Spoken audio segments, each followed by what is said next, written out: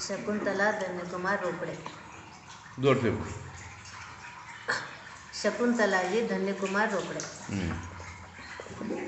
ये कितने साल पुराना मंदिर है? ग्यारह सौ साल पुराना मंदिर है ये। ग्यारह सौ साल। ये कहाँ पर है अम्मा? जैन मंदिर कमठान बोलते हैं यहाँ पर। कमठान। हाँ। ये तो भूगर्भ से निकली हुई प्रतिमा है। ये जो हाँ, ये जो हम जो देख रहे हैं। हाँ ये जो प्रतिमा आप देख रहे हैं हाँ। वो भूगर्भ से निकली हुई प्रतिमा है। अतिशयकारी। है। और जो कोई अपना अपना जो मांग लेते हैं उनका पूरा कर, करते हुए आए हैं आज तक। अच्छा अच्छा। हाँ। और अतिशयकारी प्रतिमा है। अच्छा अच्छा। भव्य प्रतिमा है आप देख रहे हैं। जी। कितनी भव्य है जी हाँ। सुंदर है भव्य है। ये जो ये हर काल के स्थान के राजा के एक हज़ार जो आठ जो आंकड़ा है संख्या है हाँ। एक हज़ार आठ का जो संख्या का अर्ध हमारे जो भक्तों को तो प्रभु के शरीर पर एक हज़ार आठ लक्षण होते हैं। शुभ लक्षण। एक हज़ार आठ। शुभ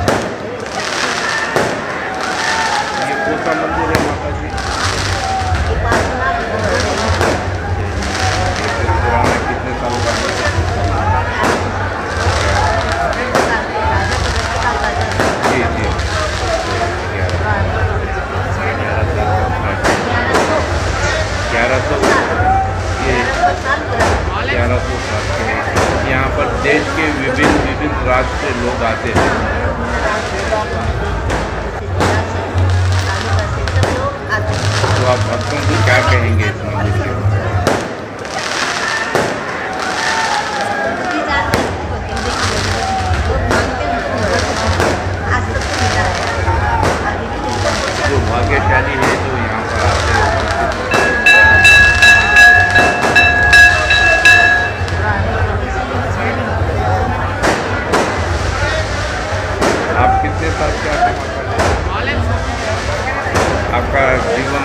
ही हैं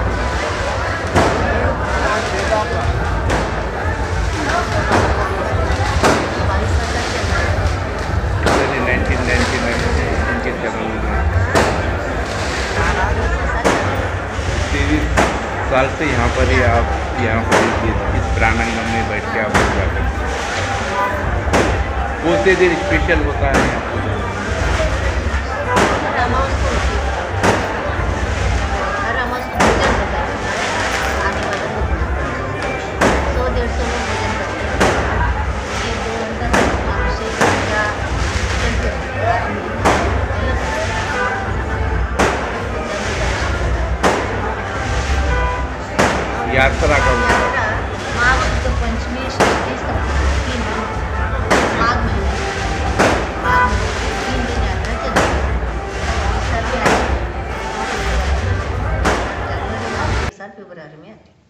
ठीक है। बहुत बहुत धन्यवाद जो हैदराबाद दक्कन के एच न्यूज़ के चैनल जो प्रेक्षक देख रहे हैं।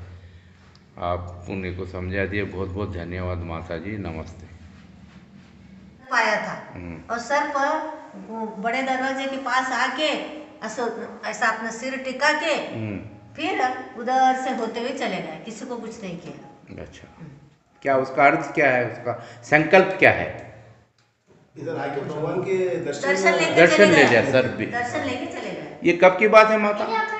सर ये दस वर्ष ज़्यादा ज़्यादा से ज़्यादा कभी कभी आते रहते कभी कभी आते हैं। नाइट में समय में या दिन में? दिन में ग्यारह बजे आया था। दोपहर के टाइम में? दिन में ग्यारह बजे।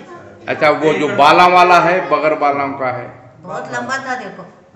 बाल बाल वाला। बाहर वाले रहते कम से कम दस हाँ, दस फीट तो रहता दस फीट तो आप अपने आँखों से प्रत्यक्ष हाँ दृष्टि से देखे हाँ। हैं वो कोई किसी को कुछ नहीं करता। कुछ नहीं करता और भी कई बार छोटे मोटे निकलते रहते और हाँ, किसी को कुछ कुछ नहीं। दर्द नहीं देते। तो इस प्राणांगम में वो भी है। हाँ वो भी फिरते रहते फिरते। प्रांगण में फिरते रहते अगर कभी किसी, किसी को छोटे बच्चों को वगैरह कुछ कुछ कुछ किसी को हानि नहीं करते। किसी को हानि नहीं पहुँचाए। ठीक है ठीक है। बहुत बहुत धन्यवाद।